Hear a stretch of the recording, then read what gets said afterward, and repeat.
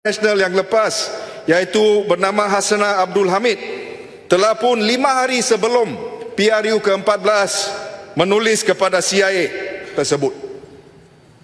Sekiranya pekan tidak jawab persoalan ini, ini akan menunjukkan bahawa Hasana tersebut telah pun membuat surat itu ataupun menulis menulis surat itu atas arahan majikannya iaitu pekan dan sekiranya ini benar, ini adalah amat serius, Tuan Speaker. Semua kes akan menuduh mastermind. Itu adalah satu perkara biasa. Walaupun mastermind itu tidak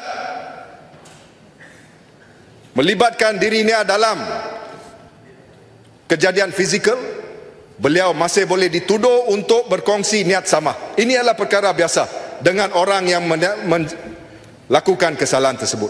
Kenapa dalam kes Altan Tuya pihak pendakwaan tidak berbuat demikian? Kenapa bila saya tanya kerajaan dulu sama ada extradition proses pernah diambil untuk Sirul Azhar Umar dibawa balik dari Australia?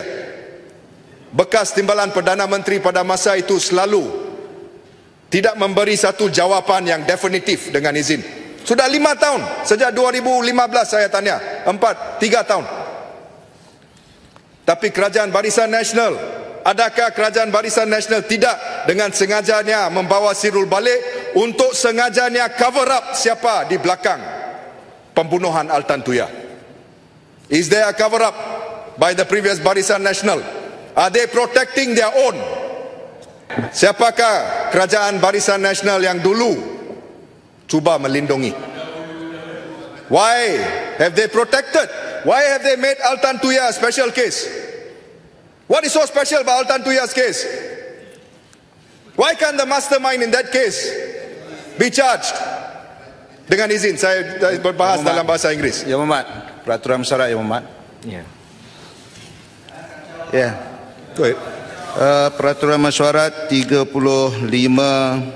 dalam kurungan 5 eh, dalam kurungan 6 35 dalam kurungan 6 cuma saya nak bertanya pada uh, Bukit Gelugu adakah kes yang disebut oleh Yang Muhammad Bukit Gelugu uh, dua-dua kes itu? Yang Muhammad Yang Muhammad Yang Muhammad Yang Muhammad Bukit Gelugu mempunyai faedah uh, menerima apa-apa bayaran kewangan bagi mengendalikan dua-dua kes ini.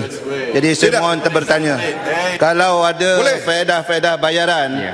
dikena, di, dikenakan bayaran guaman oleh Bukit Gelugo. Bukit Gelugo di bawah peraturan 35 dalam kurungan 6 tidak boleh membahaskan isu ini saya dengan rela hati Baik Tuan Speaker. Kerang, minta penjelasan. Saya dengan rela hati Tuan Speaker membuat dua-dua kes itu pro bono.